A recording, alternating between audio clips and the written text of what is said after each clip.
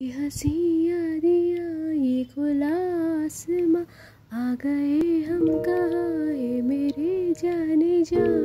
चलिए, सबका स्वागत है कि माँ सब्ज़ी दाल विद रोटी, सना स्कूल किचन में सब्सक्राइब करना, लाइक करना और ज़रूर शेयर करना। ये स्प्लिट ग्रीन क्रैम दाल और ये लोग मूंग दाल भी बोलते हैं, पीली मूंग की दाल है, ये छोटी छोटी रहती है, मगर बहुत भी ठंडी है, बहुत भी हेल्दी है।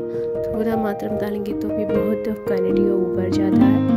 इसके लिए हम यूज़ करेंगे सनफ्लावर ऑयल थ्री से फोर टेबल स्पून और जिंजर गार्लिक पेस्ट थोड़ा सा डाल लें और खीमा, मटन।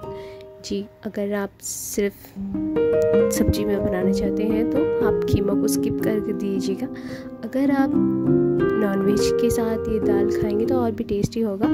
अगर नहीं चाहिए तो आप सिर्फ़ ये सब्ज़ी इसी मेथड में बनाएँगे। तो और भी टेस्ट होगा। और रोटी और चपाती के साथ खुलचा के साथ बहुत भी टेस्ट होगा।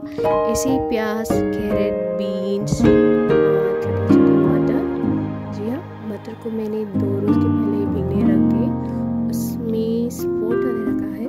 तो इसलिए बहुत भी टेस्टी होता। है और नमक, हल्दी और थोड़ा सा गरम मसाला और चिली पाउडर और धनिया पाउडर ऐड कर लेंगे और ये है तकाली यानी कि टोमेटोज टू टोमेटोज और टू ग्रीन चिलीज डाल लूँगी थोड़े से धनिया के पत्ते और पुदीने के पत्ते तब डाल के आज एक नया ट्विस्ट और धमाकार एकदम टेस्टी दाल सब्ज़ी के साथ कीमा के साथ और दाल फ़र्स्ट टाइम एक स्पेशल डिश बना के देखेंगे बोल के ट्राई किया अच्छा आया है कलरफुल ग्रीन ऑरेंज और रेड वाइट सब कुछ अच्छे से मिक्स कर लेंगे ताकि सारा मसाले का भास चल जाए और ये दाल अच्छे से सोख हो चुका है।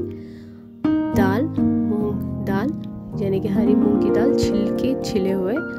अगर छिलका समझ भी आप हरी मूंग की दाल में भी ये, ऐसे ही मेथड से बना सकते हैं। अच्छे, बहुत जल्दी से पिक जाती है दाल। हाँ पिकने के बाद इसमें डाल देंगे और अच्छी सी मिक्स कर लेंगे और खारे होना तो आप और भी ऐड कर सकते हैं।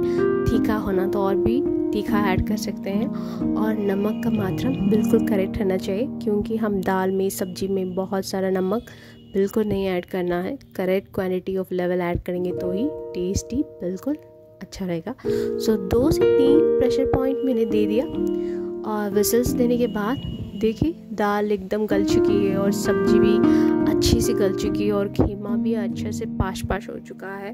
तो खीमा की सब्ज़ी की दाल ज़रूर ट्राई करना और रोटी के साथ और मेरी रोटी भी बन गई है और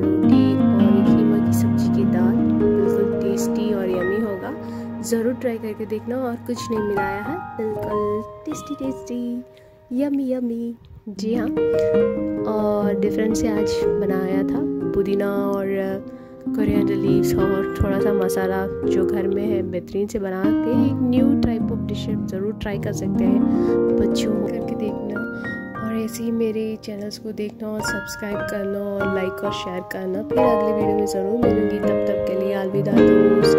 बाय